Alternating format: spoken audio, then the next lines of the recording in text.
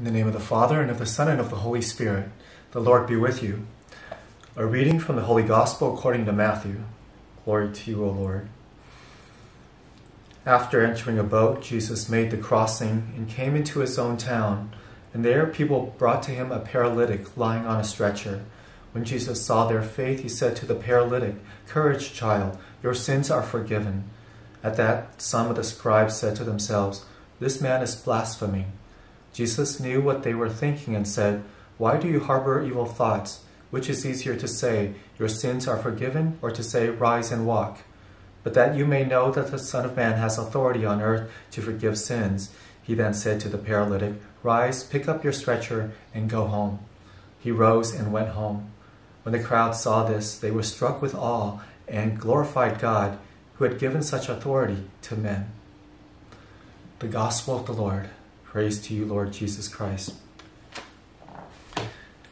When the people brought the paralytic to Jesus, they were hoping for a physical healing, that he may walk again, move again. But Jesus will see that the paralysis is not just physical, but, but is spiritual, that he's suffering from sin.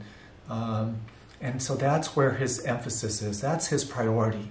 Jesus got a different priorities than the men who, who brought this paralytic to him, right? He sees the physical ailment, of course, but he sees something that's more essential, more important. It's his soul. His soul is paralyzed. That kind of healing is more essential. That healing is everything. And so that's why he said, Your sins are forgiven. Right? He gives him the greatest the greatest healing that that that, that he could probably ask for.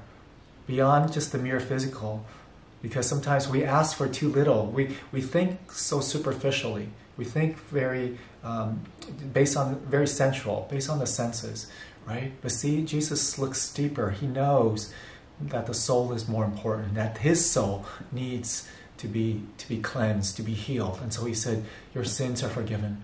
But then the scribes and the Pharisees starts to grumble and think to themselves that he's blaspheming. And then he knows their thoughts and he said, well, just to show you that I, that I have the authority to forgive sins and that I did forgive his sins, I'm going to say rise and walk, which is easy, which is not as important as the soul. And so he did. And so they were amazed. But let us too examine ourselves and our priorities. We tend to be too concerned with the body, the physical, the senses. You know, during this pandemic now, so many people are still terrified, afraid to go back to church, for example. The, the government has allowed us to have at least 100 people inside the church during Mass. But many of our Masses, we have less than 100 people. People are not coming back. They're afraid or they're indifferent or, uh, but, but, um, but the, the, they, their prior, priorities are not the same as Jesus, right? They should be thinking about their soul and, and not so much about the physical. Of course, we're careful and prudent and all that, but but don't get swept up by all the media because their priorities are different than our priorities. We're Catholic, right? We see beyond the physical, right? So the, the, the, the media, the culture is very secular. They don't talk about the soul. They don't talk about God. They don't talk about eternity. They talk just more sensual, more superficial things on the surface. Yeah, of course we take care of our bodies, but our soul is more essential. So we need to align our priorities with that of Jesus. That is our soul, our holiness, our eternal life with God, and not get caught up or paralyzed by fear of harm to the body. I see lay people, I even see priests who are consecrated to God for the salvation of souls, being terrified, being debilitated, being paralyzed by fear, locking themselves up in their room, not going out and ministering for fear of catching something. My goodness right? Where are our priorities? Where are our values? Where are our principles? Are they the same as Jesus or are they worldly? So I ask you, let us reprioritize. Let us align our priorities, our values with that of Jesus.